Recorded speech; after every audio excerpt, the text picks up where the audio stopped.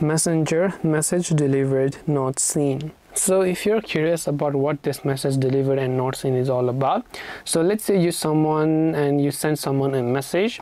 You know that this gets seen because there is this little certain type of profile picture right on that particular message right? But if you send someone a let's say a message but it simply only had a cross check or any sort of other type of checks then in that case you might actually know that they might not have resent or received the message.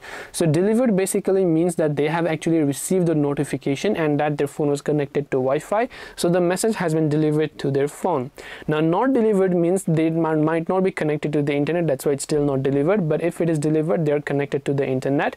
Now only God knows whether they have seen the message or not because they could have seen it on the notification panel but still chose to ignore it. So it's simply best that you don't try to actually think anything about this because you never know because just because you deliver a message you can say it shows delivered but the profile picture is at the top not at the bottom. This basically means that the message was sent to them. It has also been delivered to them which means they have received the notification. It was shown over there and if they open the messenger app they'll be able to see it. But they have not particularly went inside the chat and viewed this particular message. So if they went inside this chat and viewed this particular message then you'll be able to find this particular profile picture at the bottom. So this is the difference between delivered and not seen. So i hope that this video helped you.